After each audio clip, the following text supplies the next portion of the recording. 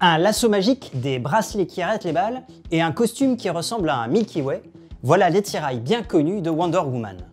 Elle occupe une place privilégiée dans la pop culture, devenue une héroïne dans le panthéon des super-humains. Elle représente la féminité forte, indépendante et libre, forgée dès sa naissance en 1941 par un curieux créateur déterminé, sa femme et leur troisième compagne, aussi bien influencés par le militantisme féministe de leur époque que par un certain érotisme coquin et avant-gardiste.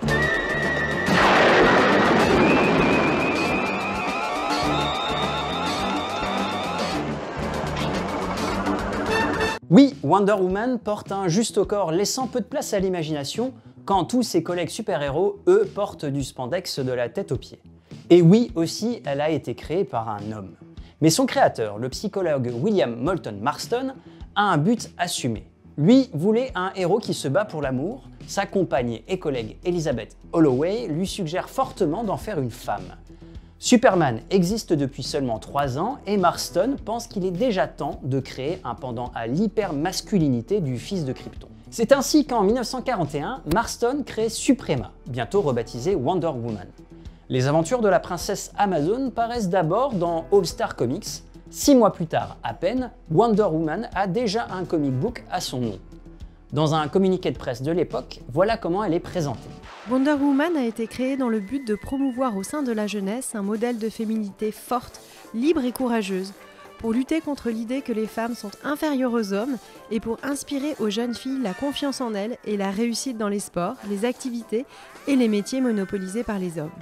Mieux que ça, sa BD est même là pour chroniquer un mouvement en marche, celui du pouvoir grandissant des femmes, comme il l'écrit dans le script du premier numéro. Si William Moulton Marston en fait une héroïne forte et indépendante qui ne doit rien aux hommes, c'est parce que ce psychologue issu de Harvard, pourtant non mixte à son époque, a été entouré de femmes militantes tout au long de sa vie d'étudiant et de chercheur. Les origines amazones de Wonder Woman sont inspirées par les suffragettes, ces militantes du droit de vote des femmes au début du XXe siècle, qui ont érigé ces redoutables guerrières de la mythologie grecque en modèle. Dans ces militantes féministes du début du siècle, les sœurs Margaret Sanger et Ethel Byrne, deux figures importantes de la lutte pour la contraception et fondatrices du planning familial américain, marquent durablement Marston et sa femme Elizabeth Holloway. La fille d'Ethelburn, Olive, deviendra même la compagne du couple, mais ça, on y revient tout à l'heure. Dans les années 20, les expériences comportementales menées par le couple Marston-Holloway sur la pression artérielle les amènent à inventer le polygraphe, le nom du détecteur de mensonges.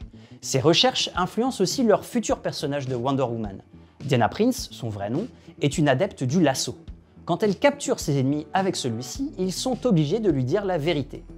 Et quand, en revanche, Wonder Woman est elle-même pieds et poings liés, ce qui arrive souvent, elle perd tous ses pouvoirs.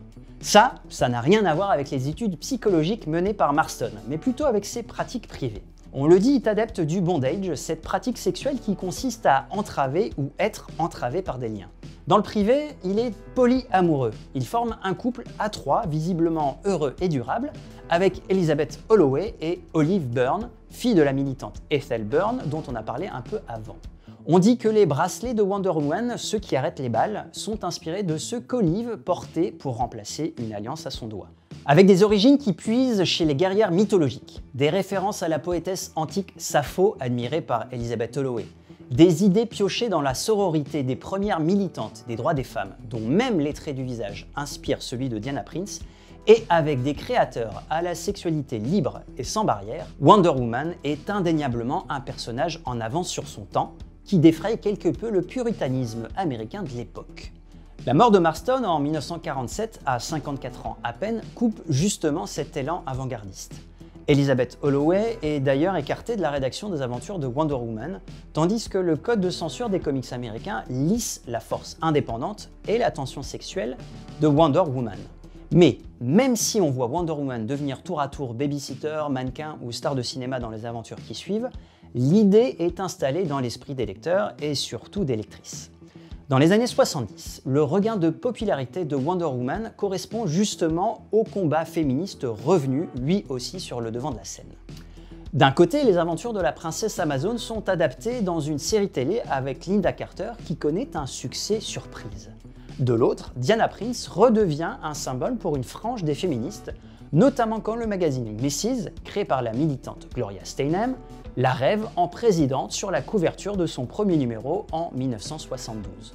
Aujourd'hui, 80 ans après sa naissance, Wonder Woman n'a malheureusement pas changé le monde. Elle n'est pas devenue présidente des États-Unis, n'a pas permis la complète égalité homme-femme, et son lasso de la vérité n'empêche pas les fake news. Mais cette icône ultra populaire a imposé une femme super-héroïne dans la pop culture et a ainsi ouvert la voie à d'autres héroïnes, qu'elles soient super ou plus ordinaires.